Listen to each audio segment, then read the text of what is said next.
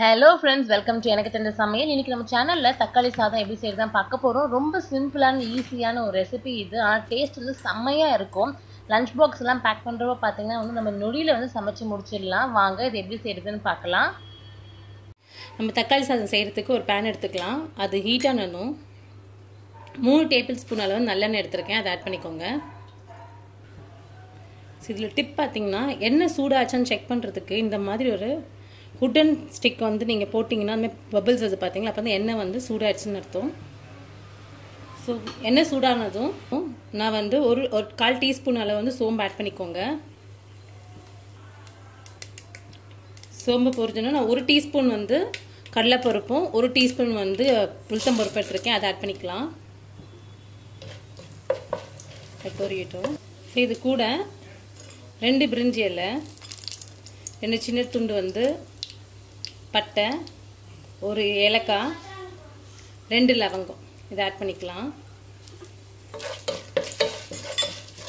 பத்து பல் பூண்டு வந்து ரெண்டாக நறுக்கி வச்சுருக்கேன். அதை ஆட் பண்ணிக்கலாம்.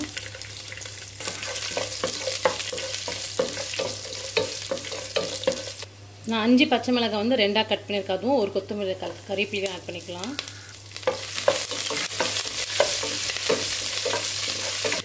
பத்து மீடியம் சைஸ் தக்காளி வந்து பொடிசாக நறுக்கியிருக்கேன் அதை ஆட் பண்ணிக்கலாம். நல்லா வதங்கணும். தக்காளியோட தண்ணி எல்லாம் போய் நல்லா வந்து வதங்கினா தான் நம்மளுக்கு வந்து டேஸ்ட்டு கிடைக்கும். ஸோ அது நல்லா வதங்கிறதுக்கு கொஞ்சோண்டு உப்பு ஆட் பண்ணிக்கலாம்.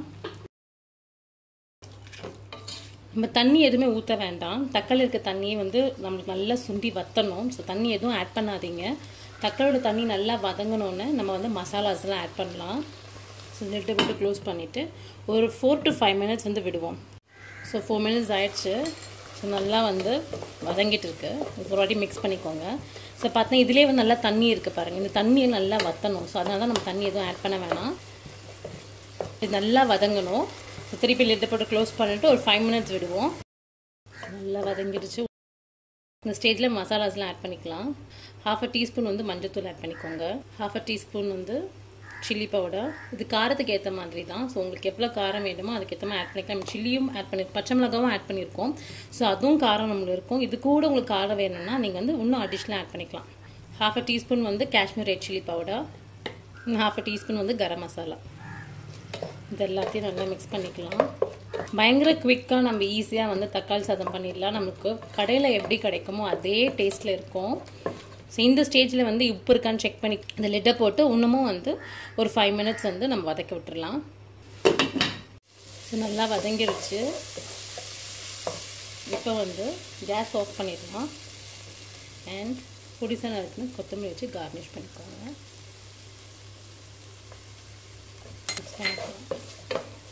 கொத்தமல்லி போட்டு நல்லா மிக்ஸ் பண்ணிவிட்டு இது கூட வந்து நம்ம வடித்து வச்சுருக்க சாதத்தை வந்து ஆட் பண்ணிக்க போகிறோம் இப்போ வந்து நம்ம வடிச்சு வச்சுருக்க சாதத்தை ஆட் பண்ணிக்கலாம். சாதம் வந்து பார்த்திங்கன்னா வந்து உதிரி உதிரியாக இருக்கணும். எனி ரைஸ் இஸ் ஃபைன் ஆனால் சாதம் வந்து உதிரி உதிரியாக இருக்கணும். சாதம் வடிச்சிட்டு நல்லா ஆற விட்டிங்கன்னா உதிரி ஆகிடும் நல்லா மிக்ஸ் பண்ணிக்கலாம்.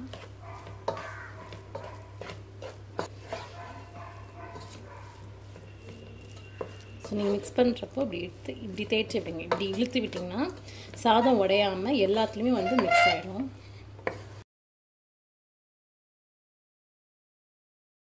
ஸோ இது மிக்ஸ் ரெடி ஆகிடுச்சு இது நம்ம வந்து சர்வ் பண்ணிடலாம்.